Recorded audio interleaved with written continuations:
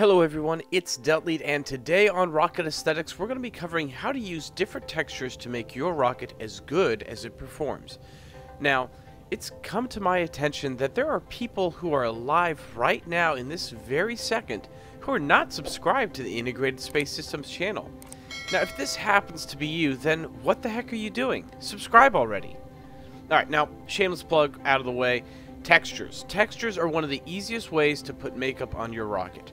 Now, in this video, I'm going to be breaking down how to use textures in a few general guidelines, and then we'll take a look at the specific textures and examples of things you can do with them to make your rocket look nicer. Now, rule number one, don't use the same texture and color for your entire rocket. There are a lot of people in the SR2 community who will tell you that the simple texture is the worst, and they're half right. But simple texture is actually a pretty neat pattern that can be used for a lot of different things. It gets a bad rep though because it's the default texture in the game, and a lot of non-aesthetically minded players will leave it on their fuel tanks and it looks bad. Not because the texture itself is bad, but because every fuel tank on the rocket is the same texture and color. So rule number one is don't use the same texture for everything. The human eye likes to see variety and breakups in the pattern. Rule number two, don't use the same color for every part of your rocket either, and don't keep the light blue color that a lot of parts have as their default trim color. Spice it up. Lots of rockets have used lots of different colors for lots of different reasons. You could go with black and white color schemes of many of the 20th century NASA rockets, or the gray color scheme that most of the Soviet and Russian rockets have used, or use the orange color of the fuel tank insulation that the Space Shuttle External Fuel Tank or the Space Launch System use. Do something, don't just leave your rocket with that grayish white that the game defaults to. Now rule number 3, break up large flat surfaces with detail. If you look close at a rocket, you'll notice right away that there's almost never a section larger than a meter or so that's completely flat or smooth. There are all sorts of different bulges, divots, seams, flight abort systems, cameras, sensors, you name it. There are all sorts of things that rockets need beside fuel and oxidizer, and their designs reflect it. Why not use your batteries or monopropellant tanks to add some texture to your main fuel tank? Or you could use the strut part to make a runway that rockets would use to protect electrical connections and fuel pipes running down the side of a tank. Whatever you think of, try it out and see if it looks good on your rocket, but use it as an opportunity to introduce different textures, colors, and details to your rocket that would otherwise be a flat cylinder. Now that we've looked at some of the general rules, let's talk about textures in the game and what they're good for specifically. And we'll start with simple texture. Now, simple texture is simply a number of vertical lines with three horizontal lines spaced out much further apart. The simple texture is best on large fuel tanks with a lot of tiling.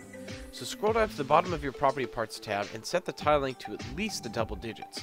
I usually settle for 12 in both the X and Y scaling direction. The hexagonal pattern has literally nothing to do with hexagons, so its name is a misnomer. It's actually a bunch of rectangles with circles that are meant to look like bolts. Now it's also good for large fuel tanks, but personally I use it more for the bodies of satellites and space stations.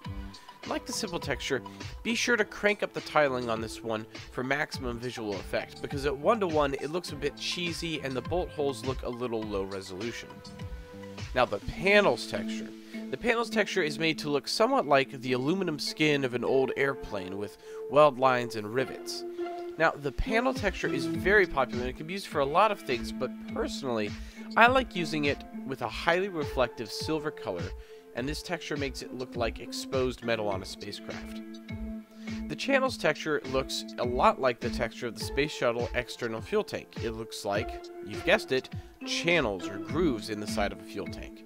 Now, it has this corrugated appearance, which is often used by fuel tanks to add structural support without adding a ton of weight.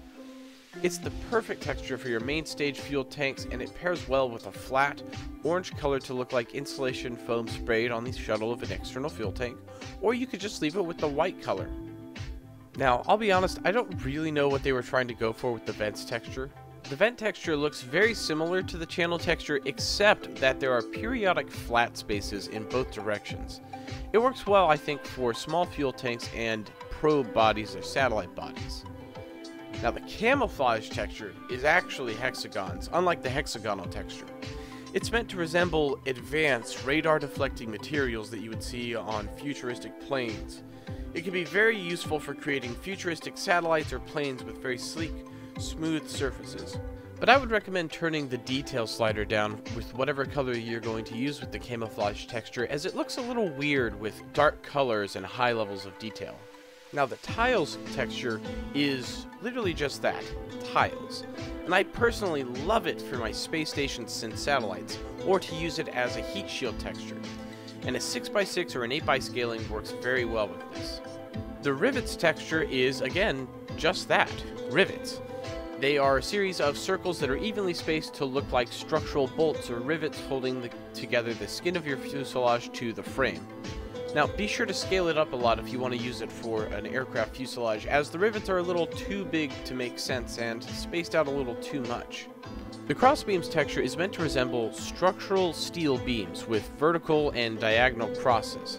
I think it's best for small cosmetic tanks or shrouds or structural components around your rocket, and you definitely want to scale this up at least to something like 16 by 16 in both your X and Y directions. Otherwise, the crossbeams look maybe a little too big and you don't really get to appreciate the finer detail of it. The grooves texture looks a lot like the pattern used by ships when welding hull plates together. They're good for large fuel tanks or other smaller structural components, and as such, you should scale the grooves texture depending on the size of the tank that you're working with, but they look good in a lot of different sizes. The insulation texture, which is meant to resemble foil that is often used on satellites and probes, is the last texture in the game we'll talk about. Now, in space, the best way to keep cool is to reflect the cosmic rays that are hitting your craft with a highly reflective material. Reflective surfaces are as good at reflecting heat as they are light, and in space, where there is no air to physically transfer heat, cosmic rays are the biggest concern.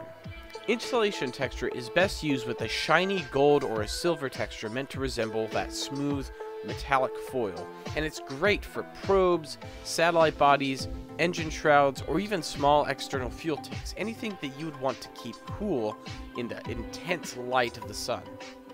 Now, the reality is with all that said, there's a lot you can do to mix and match different textures. You can change how they look with scaling and color, and don't let my advice be a hard rule you have to follow. Experiment with different textures on your crafts to see what interesting combinations of color and texture you can create. In the end, what you think looks good is what you should do. It's all in the eye of the beholder. I hope you found this video helpful. If you did, please subscribe to the channel and click that notification icon. And if you're already a fan of the channel, then consider joining the channel as a full-blown member for exclusive perks. Until next time, keep on building.